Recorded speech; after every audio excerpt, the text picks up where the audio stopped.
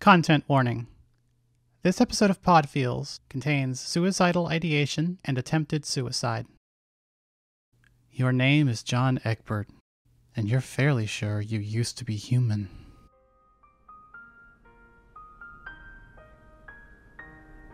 There was a dream in a dark place that spoke so loud a universe followed in its wake. You never really thought to think of it back when you and your friends were just playing games. Too many dogs, too many clowns, and too many combinations thereof to allow for an extended, self reflective think on the matter of existence.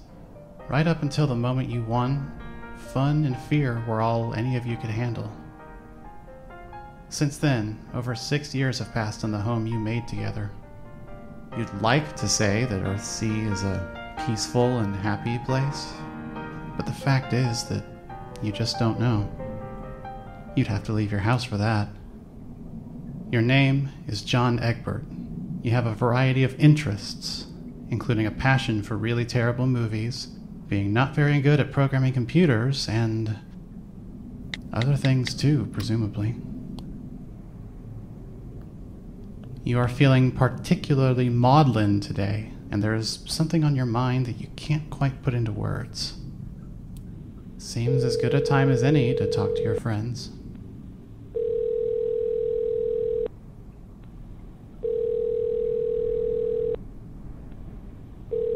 Talk to me about the Hey, mayor. The mayor was Rose? my friend. Yes?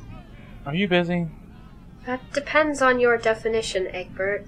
If by busy you mean struggling to collaborate with a certain time bound meme child and his angry bullfrog of a boyfriend in corralling a mob of bloodthirsty carapacians, then no, obviously I am not in the least bit busy. Oh.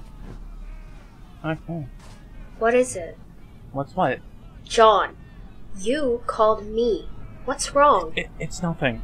I- I mean, You're obviously trying not to bother me, which I respect and appreciate, but vaguely gesturing at a nothing that is clearly a something only Hey, really Rose, could you manages to. stop playing phone therapist hold and give us a hand? We're not sponsored by BetterHelp.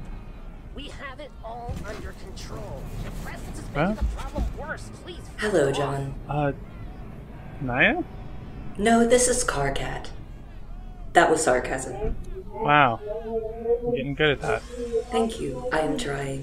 What happened to Rose? She appears to be channeling the essence of sundry dark magics in an attempt to frighten the Carapacians back into their can hives. What's going on? Honestly, John, I am unclear as to the precise details of the situation, but I am already convinced that it is Karkat's fault. Oh, uh. Do you need help? Aren't you on the other side of the planet? I can do the windy thing. The windy thing. Yeah, you know. Turn in the wind, mysteriously appear places. It's like the thing that I do. Yes, John, I know all of the information you just said to me. That was a skeptical statement, not a question. I haven't seen you do the windy thing in several sweeps. Why couldn't you just appear here instantly with your other ability? I don't. Don't really. Um, You don't like to use it. You barely leave the house because the windy thing is unreliable and the other thing makes you sad. We have had this conversation several times. Hence my previous skepticism as to your ability to promptly cover great geographical distances in time to assist with the current emergency. Thanks for the call out, Kanaya. I am fairly certain you called me. You called Rose! John, we are literally married. In your culture, that is like becoming the same person. what, like fusion? Where you combine into one large lady and then scramble your names? Like Loliam? Rokanaya? Mary Rose? I think you are making a reference to something that I do not understand. But yes, just like those things you said and their various cultural implications, we become one disproportionately oversized being with a charming and easily recognizable portmanteau for a name. Only in this case, not like that at all, and instead entirely metaphorical. That was more sarcasm. I know. I thought that sounded like something John would say. What? I mean, uh, something I would say. Sorry, it's been a weird morning. Just tell me if everyone is okay. Is Rose safe? Rose is a god. She'll be fine. I. Cool. Got it.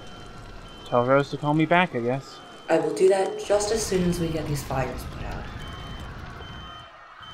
John, are you still there? Rude. You feel something tug at your heart from far away as the screen of your phone goes dim. Rose used to say she'd be there for you no matter what, and you know she meant it. That's the kind of thing that friends say to each other when they care. But life happens, doesn't it? Sometimes we are too busy to keep our promises, and it is nobody's fault. Which, unfortunately, doesn't lessen the disappointment one feels when the support you need is nowhere to be found. Even though you aren't sure what you want to talk about, you know you need to talk to someone. It's begun to eat at you like a name that's stuck on the tip of your tongue. Unfortunately, it seems like all your conversational standbys are tied up at the moment. Sounds familiar. That's not fair. No one is avoiding you. It's busy work keeping a civilization in order. Okay, who else is free? You unlock your phone and scroll through your contacts. Jake? Jane? Too busy being moguls. The sprites? Mysteriously unflappable and generally ignorant of nuance. Roxy? You love talking to her, but she is probably on a well deserved wine date with Calliope, who you also love, surprising no one. Dirk? You've never really connected on account of Dave, and you get the sense that he doesn't like you that much anyway. Every time you're in the same room, there's something in the way he looks at you that makes you feel uncomfortable. You think that if you tried talking to him now, it would only worsen your mood. Jade? Hmm. No. Finally, you stop at Terezi. You haven't talked to her in a long time, probably because she is in the far reaches of paradox space looking for Vriska. You always enjoy your verbal sparring matches in a masochistic sort of way, but you don't want to be a bother. Gosh, everyone just has so many irons in the fire. Where did they even find all those irons? And why did none of them involve you? Not a moment after you lock your phone again does the screen light up. What the hell is this music? Oh, right. John's interests. Your interests, you mean.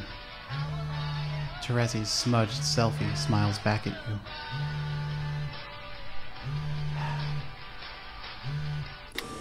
What do you need, John?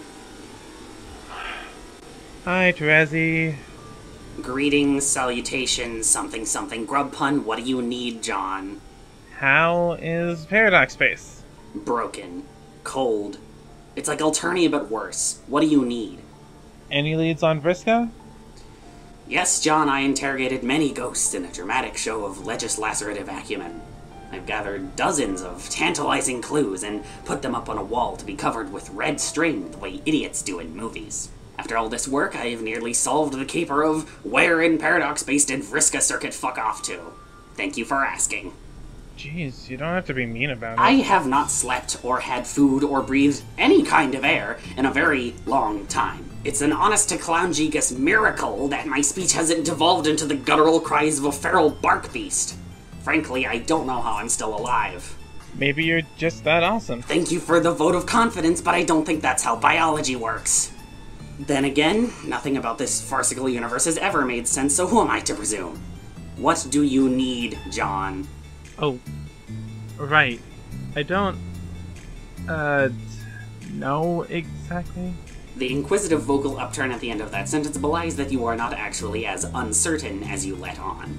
Really? Yes, John, I am in your head, reading your mind like an extremely open book. Why do you know so much about human Nicolas Cage trivia?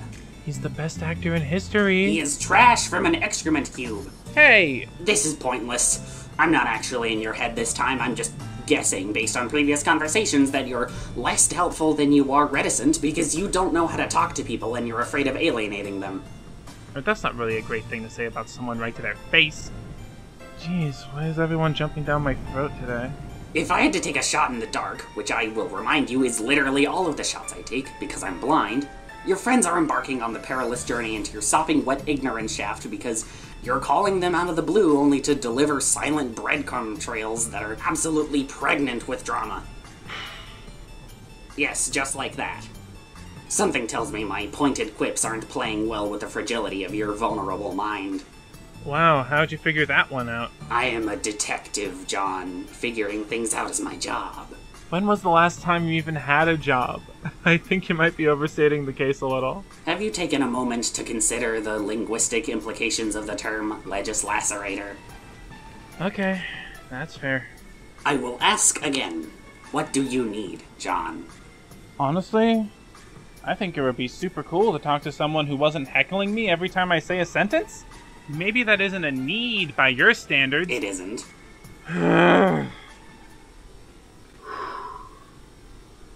Terezi. We won, didn't we? Is this an actual question? I guess not. Definitely won. Maybe I just thought that winning would feel better? As someone who is intimately familiar with unmitigated success, I can speak with authority when I say it never feels as good as you think it will. Really? Imagine you're reading a book. It's big and complicated and difficult to follow at times and takes forever to finish.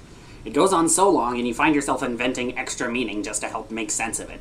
And when it's finally over, you close the book and ask yourself, what now? Now imagine that this book is as big as the universe and also the only book that has ever or will ever exist. Winning is like that. Wow. That's a sad way to look at it, Terezi. I don't know if you noticed, John. Existence is sad, which is why it's pointless to obsess over winning and losing. So we beat Sgrub. Great. Please tell me what has materially changed for us. We grew a little and learned some lessons and got dangerously close to making regrettable scarlet advances on a clown. We are still thoroughly immersed in the nonsense drama of our tiny little lives. Except now, we're in charge of stewarding several species of sentient creatures into a bright and hopeful future, so it's actually worse. Which is why I'm in fucking paradox space trying not to get sucked into a universe sized vortex, instead of cracking open a singular frosted cylinder with my friends back on Earth C. Wait, do you not want to come back? That isn't what I said. I don't know, Terezi. Your, uh, long, wordy sentence belies that you don't want to come back. Look at you making inferences like some kind of junior detective. Don't change the subject. Fine. Look, I want to come back, but not without her. Right, but what if she's. What if you can't find her? I don't appreciate your Germanic euphemism for Vriska being dead. And besides that, the premise itself is fatally flawed. How? If Vriska were dead, I'd know. Are you sure? John, what do you need? Oh, come on. I'm not having this conversation with you, so either get to the point or leave me alone. You called me. And I can hang up on you too. Okay, fine. I'm sorry for caring. Yeesh. I'm just worn out and confused and having a hard time relating to. Relating to what? I don't know. The whole thing. Which thing? Everybody's really happy and having a grand old time getting married and kissing each other, making the world a better place and all. Even you. Your whole maybe a suicide mission is all about love. Or a love, I guess. Mate sprites, is that the good one? Close enough. I know it hasn't been easy for anyone, and we're all kinda traumatized. But no one else seems to be doing it alone. It sounds like you need to talk to Jade. What? What would I even say to her? She's busy doing troll society stuff. Besides, I don't want to inconvenience her or whatever. John, please explain to me, in laborious and painfully specific detail, how one could ever conceivably inconvenience a witch of space. She's still a person. with things and stuff to do, irons in the fire, the whole shebang. And besides all that, she doesn't want to hear from me anyway. Wow, it's been less than a minute and you've already come up with three separate yet equally nonsense reasons for why you shouldn't talk to her. They aren't nonsense. They are demonstrably nonsense. You should talk to Jade. I don't want to. She'll just be mad at me. How often have you ever known her to get angry, besides when she was under the influence of a genocidal fish? Not very. You need to talk to Jade. I just. What would I even say to her? Probably very little if your current mood is any indication. Listen, I have to go because. Honestly, I just want this conversation to be over. Not to be mean, but you haven't exactly improved my mood. Right, because you're known for your sunny disposition. The notoriety of my pleasant nature is irrelevant to this conversation. Talk to Jade. Terezi, you don't understand. Yes, I do. Talk to Jade. Don't harumph me like that, human. I may be blind and mortal, but I can still kick your sorry ass any day of the week. You'd have to come back home first. Don't tempt me. Okay, well. Thanks, I think, for the conversation. Anytime. Just not for this long, and not very often. Wow, that's, uh. awfully honest. Goodbye, John. Talk to Jade. As you lower the phone from your ear, you consider Terezi's words for all of a few seconds before deciding that, as is very in character for her, she has no idea what she's talking about. Jade doesn't want to hear from you. You might as well just. John! Oh, uh. Hi, Jade. Did you know I was about to call you? Terezi told me. She said you were really sad about something and that you needed to talk to me, but probably wouldn't, so I called you first. Wow, that's a cool thing she did. Yeah, she can be really considerate when she wants to be. Gosh, I feel like we haven't talked in forever. Everybody is so busy these days, I can't imagine all the shenanigans you must have gotten up to. Yeah. So, what did you want to talk about? The thing is, I didn't. Um. How are you? Oh, I'm okay. Mostly I stick around in my lab doing experiments these days. Wait. I thought you were doing troll stuff. Yeah, I help out with the grubs sometimes. It's chaotic and strange, but Kanaya's really patient, which is good because it doesn't exactly come naturally to me. it has been nice to babysit and watch grubs grow up, though. I never had a family life, so this is kind of like making up for lost time. They call me Dog Mom. That's adorable. It is! So, what about you? What have you gotten up to over the last few years? You know. The usual. Well, that's good to hear, I guess. Yeah. mm-hmm. So, was there something you wanted to talk about? Or.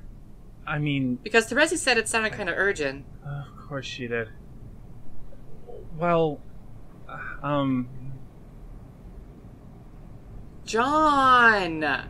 Please just say what you wanted to say. You know I'm not gonna judge. well, I, I, okay. Um, I wanted to say that. I'm sorry. Huh? Sorry for what? It. It doesn't matter. John! What's going on? Why are you sorry? John? Hey! Sorry For what? for zoning out for a second. No! I mean, why are you sorry right now in the not momentarily inconvenient sense? Jade, I. Jeez, why is this so hard? I don't know because you won't tell me, so just say it, please. I'm really curious. Okay, okay. I guess, uh. Can I ask you a question? Yes! Do you ever find yourself thinking that you don't remember what it's like to be human? Oh. Sorry. No, don't don't apologize. It just seems like a silly thing to be so dramatic about is all. Really? Well, yeah. I mean, basically everyone's asked me at some point or another. Honestly, it's kind of lost its charm a little. Whoa. Okay. So, what's your answer? My answer is that just because I bark and growl occasionally, and sometimes have overpowering cravings for bacon strips, doesn't mean I'm not still stri- primarily human. N- no, that's not what I'm. I, I wasn't asking about being part dog. I was asking about. Well, I'm asking because I. I don't know if I do. Remember, I mean. What it's like to be human. Oh. This is about the whole we're gods now thing, isn't it? Yeah. So. Do you? John, it's been nine years since we beat the game. Why is this only coming up now? Just. Humor me. Okay? Please? Right. Let me think. Honestly, this is kind of a hard question because I don't know if I ever really knew what it was like to be human in the first place. Huh? I mean, in the sense that I never had friends or family or anyone besides Bec. Who was a very good dog, don't get me wrong, and I'm not just saying that because he's literally part of me now. But he was still just a dog. Aloof, mysterious, not great at conversations, you know? Obviously, I had you guys and Jake and the trolls, I guess, but none of you were ever here. It was just me, alone on an island, waiting for a ping from Pesterchum. And now I'm watching trolls grow up and I see them touching hands and falling on each other and running in circles, all those very normal kid things. And all I can think is, wow, none of that stuff was normal for me. My normal was guns and corpses and abandoned trophies and dream visions of a future that I blindly embraced because it was the only interesting thing I had to hold on to. Those dreams promised me that I had a destiny. But in reality, those dreams weren't mine. They were just more rules for me to follow. I thought I knew so many things for sure because absolutely nothing in my life was ever uncertain except for a nebulous, far off future that I just kind of figured would work out fine. You know, I used to think Rose was silly for questioning so much about Sburb, but now out of all of us, I think I was the most naive because I dared to think I could trust the forces I didn't understand. Gosh. Oh, sorry. I, I I didn't mean to vent like that. No, it's it's okay. Seemed like you needed to vent. Well, hey, at least now you're away from all that, right? Well, I I don't um woof, John, you really dug up some emotions for me. I thought digging was your thing. Ugh, really? John. Okay, yes, you're right. Technically, it's all behind me, but it really doesn't feel like it most of the time. What do you mean? There was a little while in the game after my dream self died where I felt powerless and uncertain. But then I went dog tier and saved our planets and launched our ship where it needed to go. And for that one incredible moment, I was so strong and so free and so cool, and I finally got to do something amazing and help the people I love. I think that was the closest I ever came to feeling human. Because I saw a problem, and for once, I actually, really, truly had the power to do something about it. So I made those choices, and I saved the essential pieces of our session, and despite everything, we still got away before the scratch. I can't tell you how good it felt to finally ascend like that. I'd become the hero I always dreamed I could be, and there was no hurdle too steep for us to climb anymore. I thought we had it in the bag. And then you died. And I was alone. Oh. At the end of it all, everybody came together from across timelines and universes and sessions after years of planning and preparation for the biggest, most important strife in the history of Paradox Space. And what was my role in that big, giant battle? Herding dogs. Which was fun, and it was something I chose to do despite being a liability, what with the contests and all. I felt bad that I couldn't do more, but it sure beats sleeping through another important moment. But then, one of the dogs punched me out, and I wound up sleeping through the whole thing anyway. and when I woke up, it was already over. I put on a smiling face, and obviously I was overjoyed that everyone was okay and that we won. I mean, we got to create Earth C together. How cool is that? But none of that changes that I. I failed. PM was able to beat Bec Noir, sure. But what if she'd failed? You guys were barely able to beat the Condesce and the Jacks as it was. I was terrified when I woke up because I thought you'd all be dead, and I didn't even have a chance to think of avenging you before I realized that trying to do anything would be worse than pointless because the Condesce would just take control of me with her mind powers. Even in my wildest dreams, I couldn't make a difference. I failed everyone. You gave me exactly one job to do, and it was still too much for me. Jade, no. You did what you were supposed to. Everything worked out great. ah! Look, I know, okay? I know I did what I was supposed to. I know it worked out great. That is the problem. There was literally no other way it could have happened, and it's great that we all lived, and now we have this fantastic new world to make our own, and we're all immortal gods who are worshipped by the societies we helped make, and wow, isn't that silly and fun? Remember when we first got here, and up in the sky there was that message that said, thanks for playing? That thing used to make me so mad, because all it ever did was remind me that I didn't play! Jade. Everything was out of my control until I went God tier, and suddenly I had so much control and absolutely nothing to do with it except wait for three years. Meanwhile, Rose and Kanaya got together, Dave and Karkat basically got together, everyone had a great time with the mayor, it just sounds like the most heartwarming journey you could hope for after the anxiety of our session. Nothing like that for me, though. Just the consorts and carapacians, who are pleasant and sweet and fun, and I would never say anything bad about them ever. But they're boring! And I couldn't even message anybody, so I was just stuck wandering around our worlds and around our ship, just trying to find something to occupy my mind. Something to distract me from the endless monotony of that voyage. And then what happens after all that waiting? Vriska! Vriska happens! That's all she ever does. She just won't stop keep happening. I'm asleep before I can even say a word. I wander around some dream bubbles. I wake up with one job. I fail at that job, and then it's over. And now every time the sun comes up, I'm reminded that I could have done better.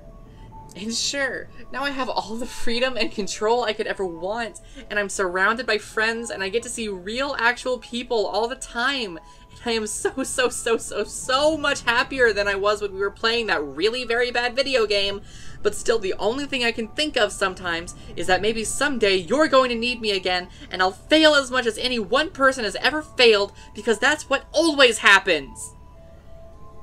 I'll let you down, and somebody will die, and I'll just be left behind again to wait and be sad forever.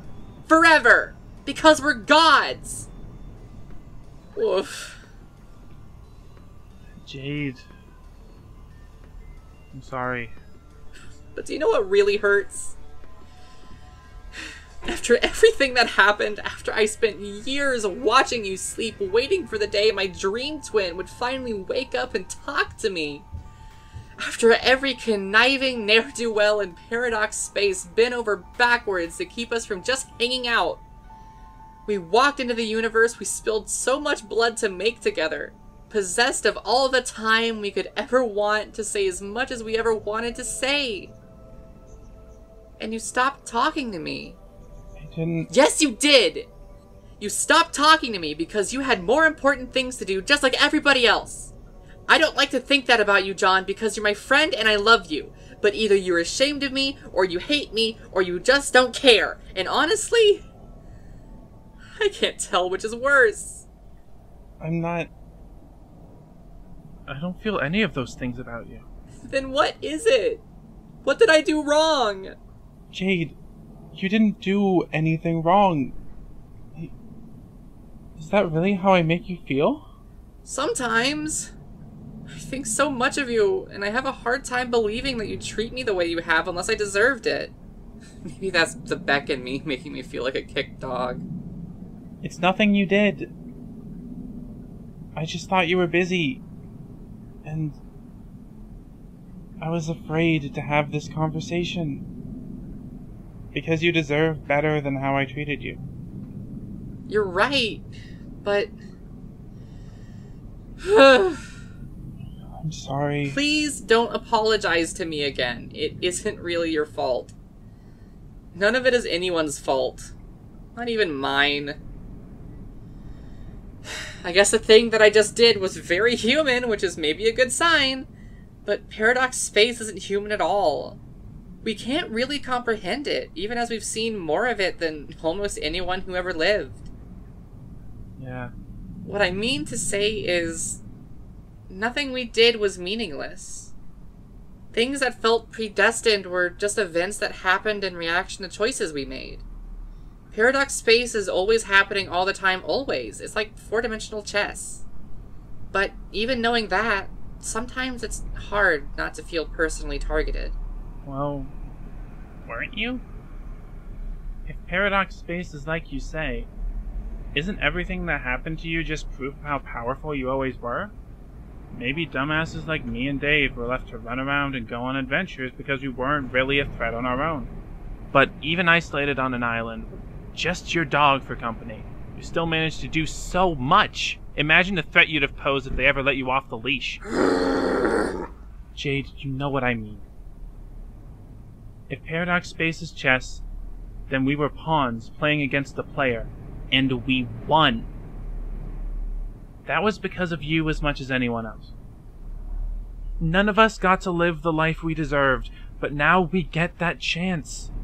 And this time, you have friends who will chase you in circles all day if you want. All day!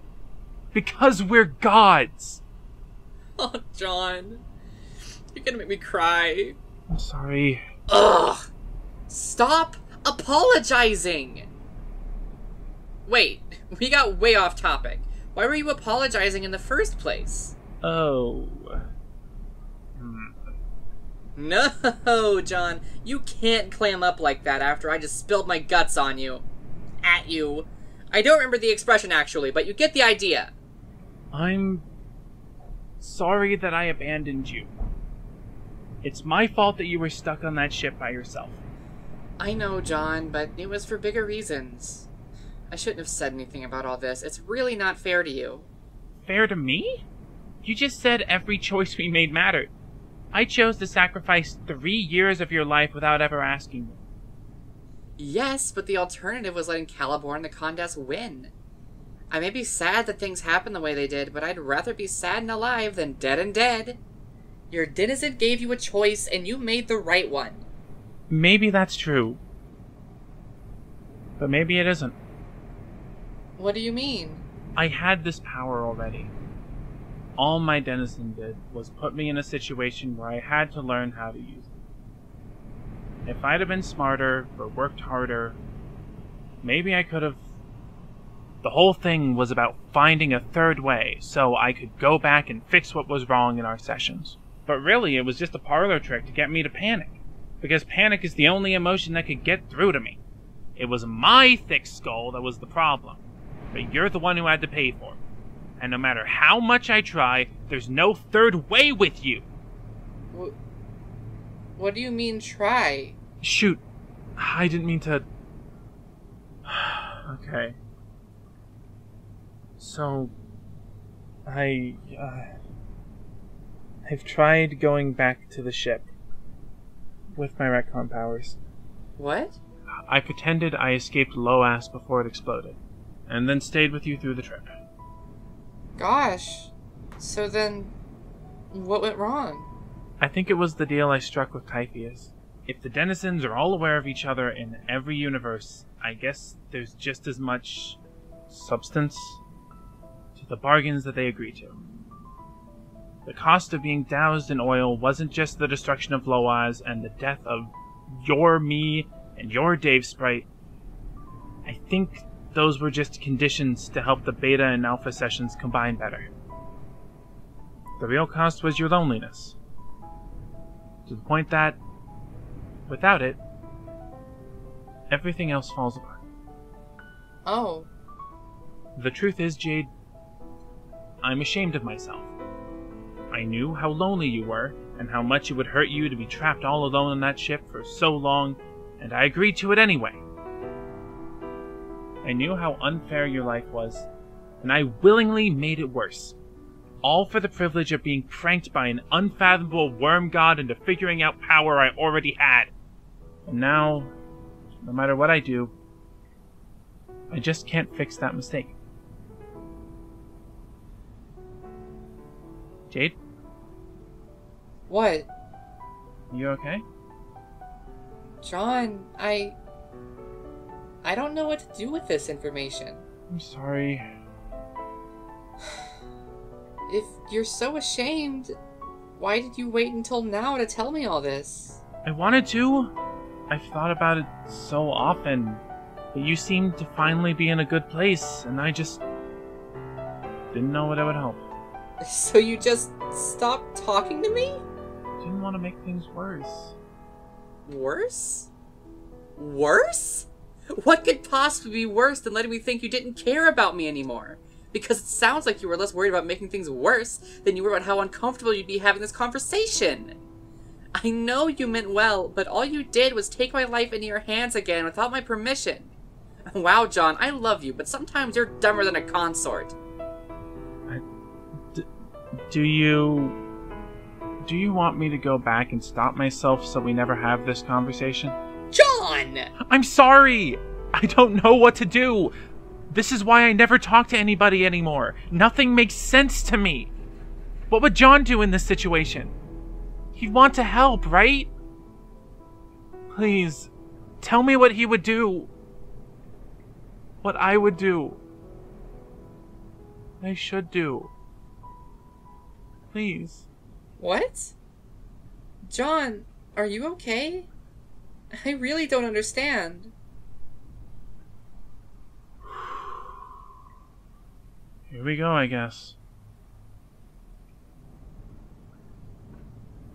Can you tell me my interests? Okay, you like dumb movies? Is that it?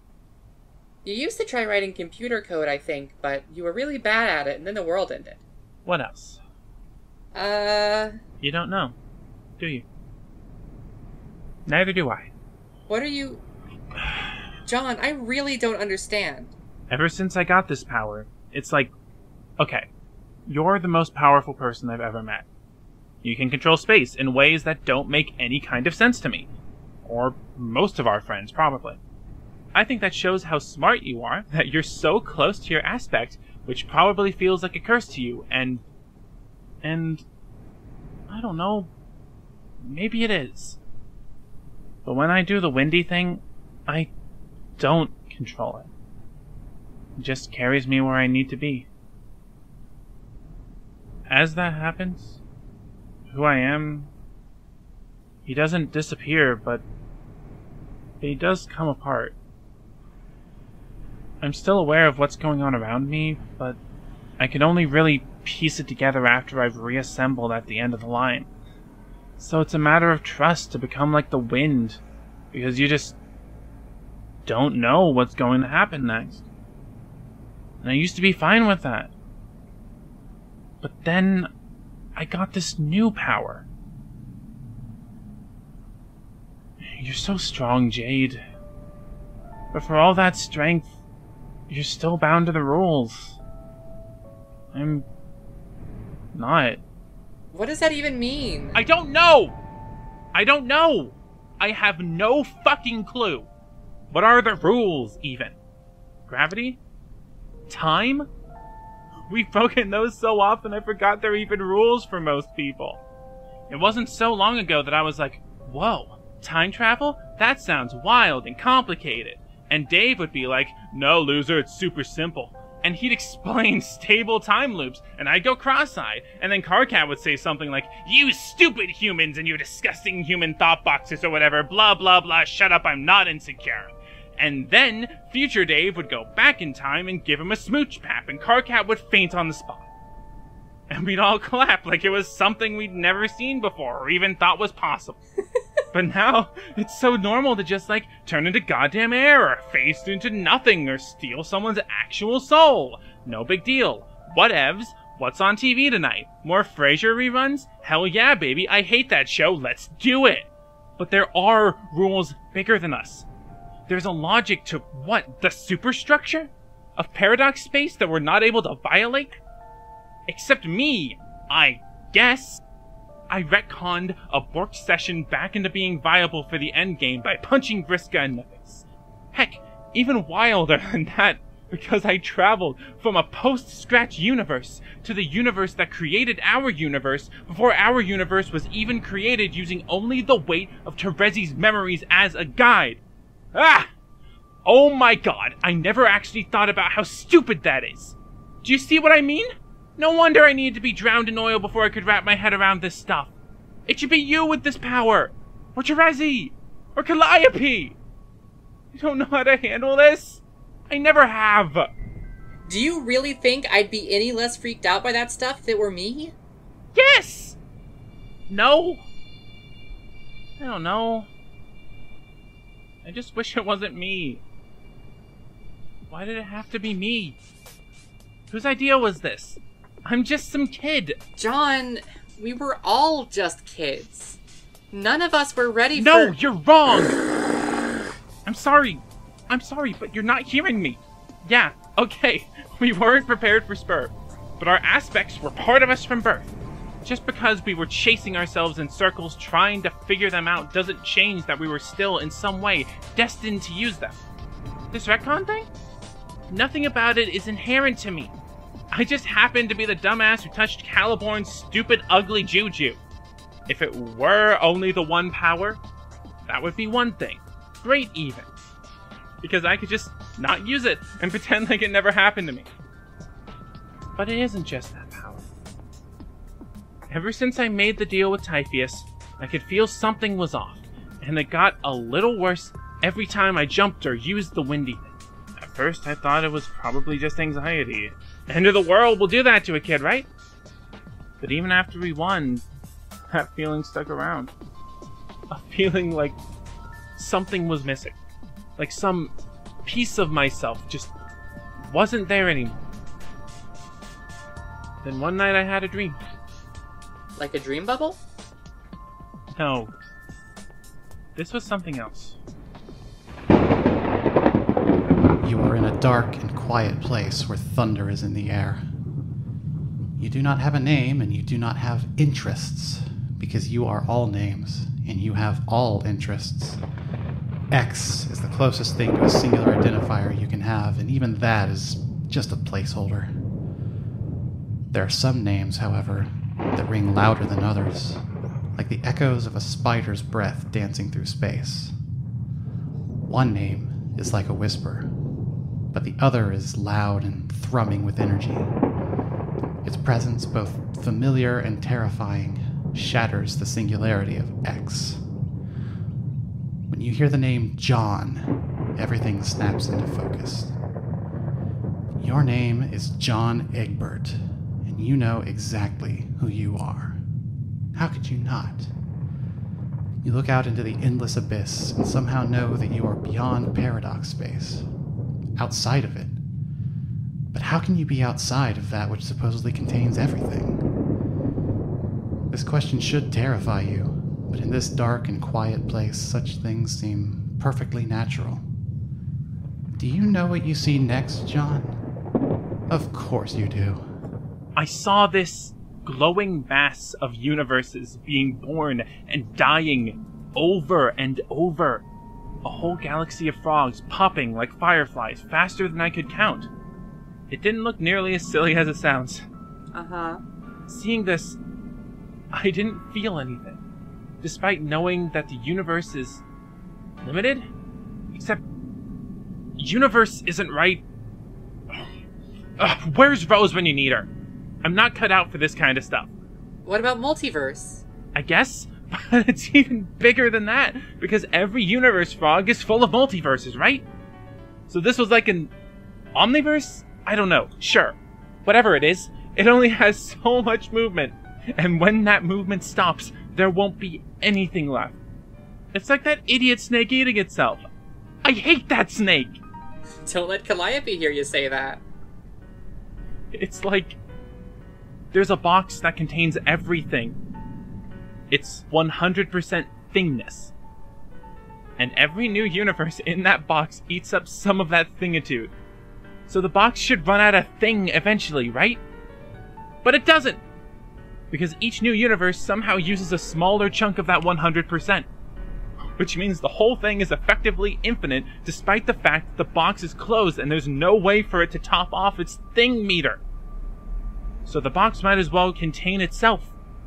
Which means the Omniverse is always in the process of dying while also being literally immortal. This is a very interesting dream, John, but what does it have to do with anything? I don't know. It's all so confusing and everywhere in my head.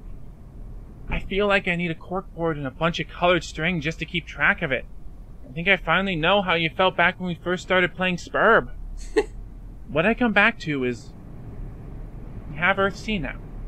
We beat the game. We want. This is our world, and we get to make it what we want. Right? That's what everyone keeps saying. But this universe didn't just magically escape that box. Which means that someday, our new universe is going to face the same apocalypse the old one did. Because it's the apocalypse every universe faces. So does that mean there's already secret ruins with old letters and abandoned stations from a new session of Sburb that won't start for centuries? All of it just waiting for whoever follows us? That is a concerning thought. But maybe that's just how things are. This box, this system, whatever it is, I I don't think there's anything we can do about it. I mean, what can you do about something like that? It is what it is. And that's fine, I guess. That isn't what scares me. What is it? John? That wrongness I felt after Typheus wasn't trauma or anxiety. I mean, not just trauma or anxiety. It was like the feeling you get after cutting your hair, where suddenly your head is lighter than it should be. Only instead of losing something physical, I lost something. I don't know. Psychological? Emotional? Spiritual? The details don't really matter. The point is, I was missing something. Do you mean like memories? People forget stuff sometimes, John. That's pretty normal. Memory is part of it, but it's more than that. Imagine that. Somewhere out in the Omniverse, there's a you that contains every version of you there ever was. You are it, but it isn't you. Dave Pettis said something like this to me before, but I thought they were just flirting. Right! Wait, what? Never mind.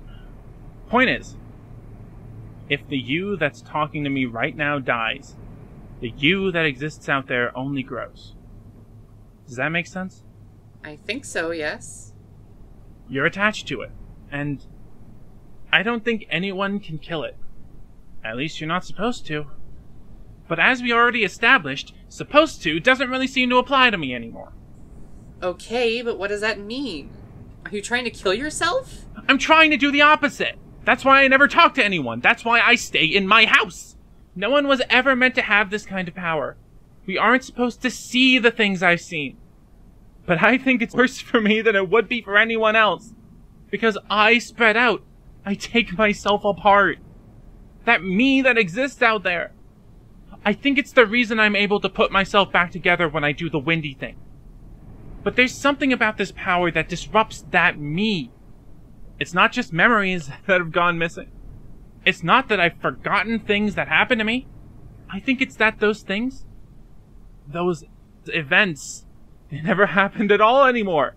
That's terrifying, John. It freaks me out a lot too, actually. I'm kind of really fucking scared almost all the time.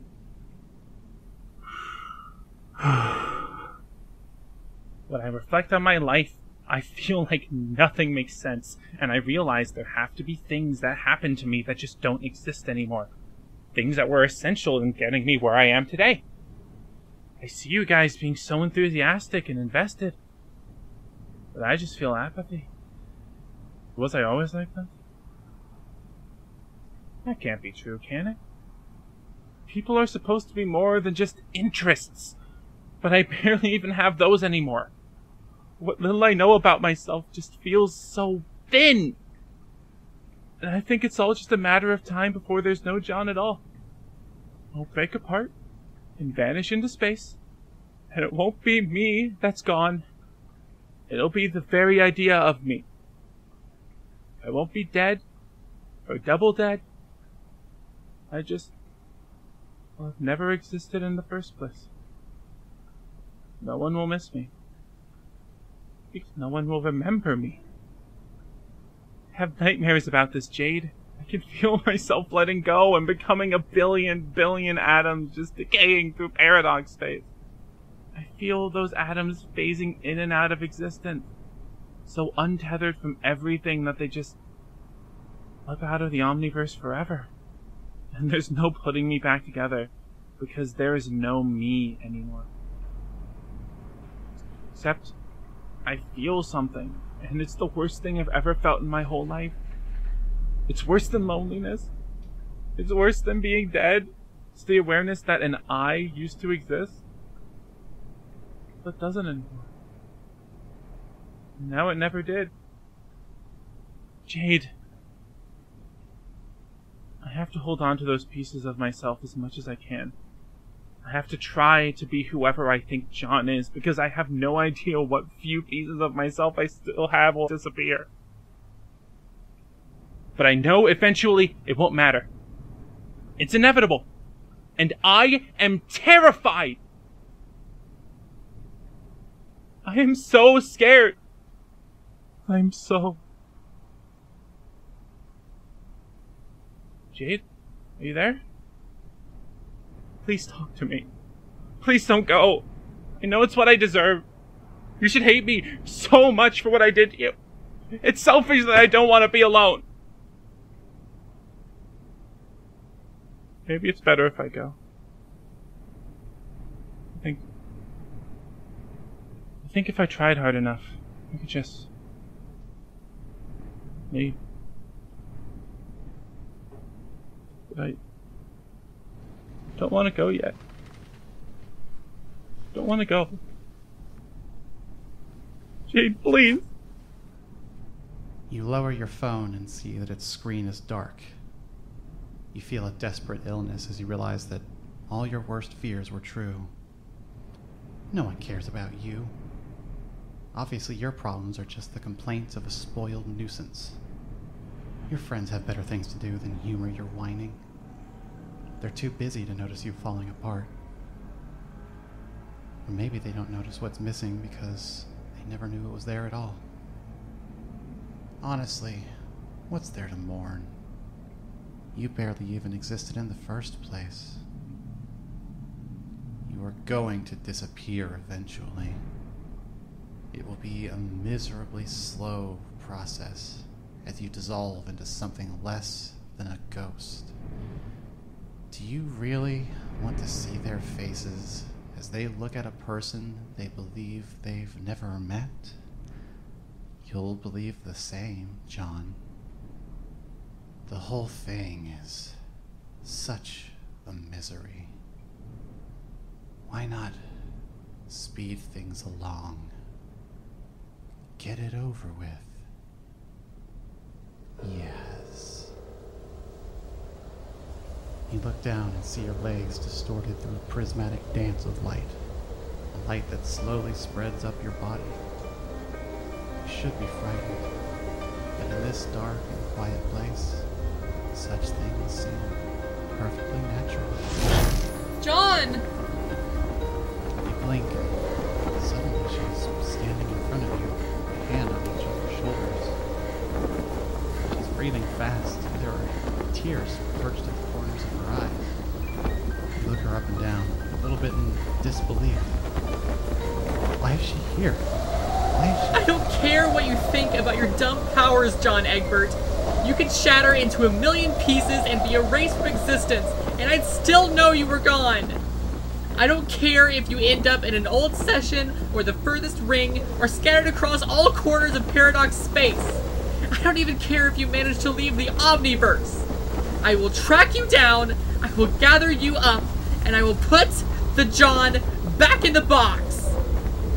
You see the scene as if you are outside of yourself. See a silly girl with dog ears trying to shake some sense into a tired boy who has felt so lost for so long. You hear a familiar voice say a name that sounds like your own. Feel a tugging at your heart. That's when you start laughing. It comes shallow at first, like an echo from inside of a cave, but it travels through you until you're practically howling. Jade lets go of you and takes a step back, cocking her head to one side, tears still glittering on her face. She touches your arm and your laughter begins to fade. You feel a weight pressing down on you, pushing you into a slouch as your lungs play catch up. You fall into silence and John? Are- Are you okay? you look up at her and you notice that you started to cry. I. I. Without another pause, you pull Jade close to you and bury your face in her shirt. You are sobbing now, something you haven't done in years. With that, the light that was slowly devouring you recedes. Jade wraps her arms around your shuddering body and pulls you as close as she can. Jade, I don't want to be alone anymore. I'm so sick of waiting to disappear. I miss you so much. I miss Dave. I miss Rose. I miss all of us. I miss you too. J- John, I don't know if there are pieces of you that have been erased, but I do know that isolating yourself like this can only make things worse.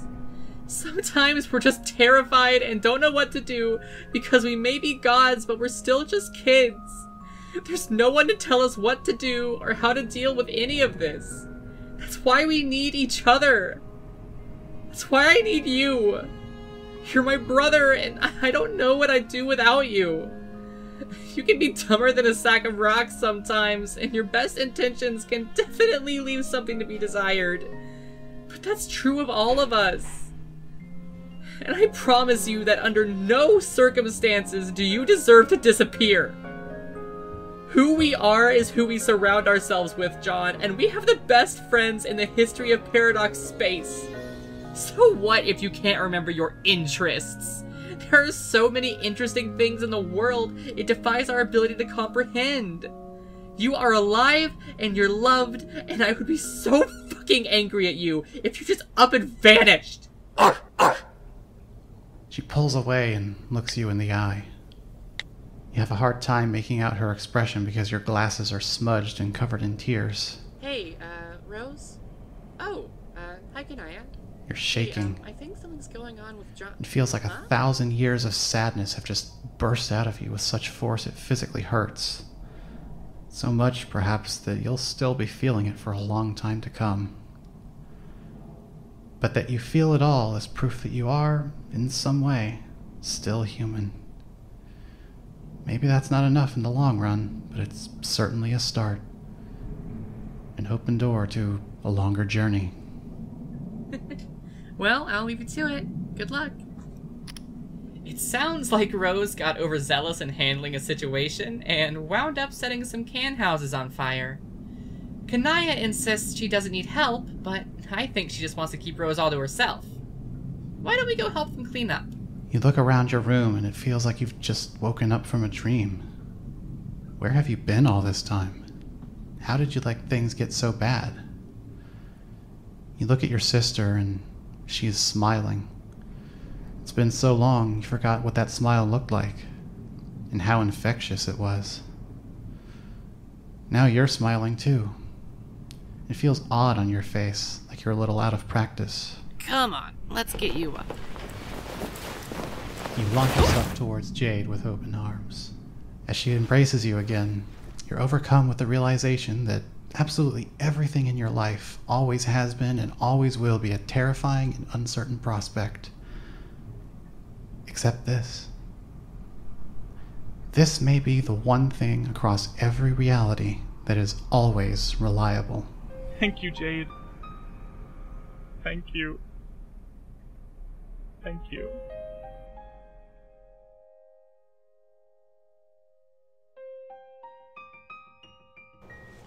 Hi, my name's Dare. I'm the primary director and editor of this ambitious project of fans of Godfeels aiming to dub as much of it as we can. Hopefully, all of it.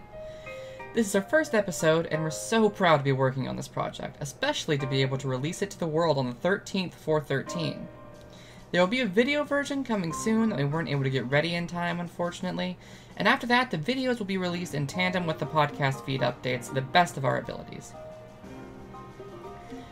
Godfeels is written by Sarah Zedig, who you can follow on Twitter at HMSNoFun and read the fanfiction of, including Godfeels, at archiveofourown.org slash users slash Sarah Zedig. That's S A R A H Z E D I G.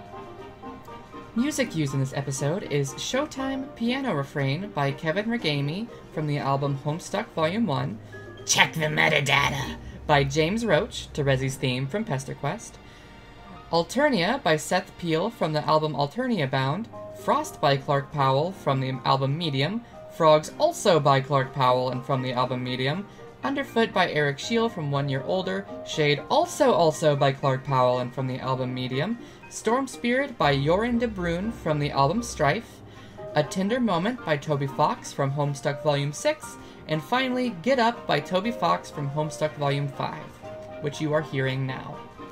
And now, for our lovely cast. Selenaphobia as John Egbert. And you can find me on Twitter at Selenaphobia with two A's. Hey everybody, I'm Jess, and I did the narration. You can find me on Twitter at FenderJessBass, that's B A S S. I'm Rowan Astor, and I voiced Rose Lalonde. Feel free to follow me on social media at Jinkies underscore Junebug everywhere. Hiya, my name's Leo, and I played Kanaya. I'm Jay, or Sixhokage1, and I play Dave. You can find me online at various places linked from my website at sixy.name. That is S I X Y dot N A M E. Hey, I'm Hunter M. I voice Karkat in this dub. However many lines that might have been. Just the one. You can find me at Hunter M Comics on Twitter. Our Terezi was not available to record a credits reel for this, but they were played by Universal Quietus at Cosmic Quietus on Twitter.com. And finally, me. I played Jade. You can find me personally at Dare0451 on pretty much all social media, everything from YouTube to Twitter to Tumblr to Discord. And if you'd like to get involved with this project, you can send me a DM on Twitter or Discord, and I can get you an invite to our production server. Thank you for listening, have a wonderful day, and look forward to more.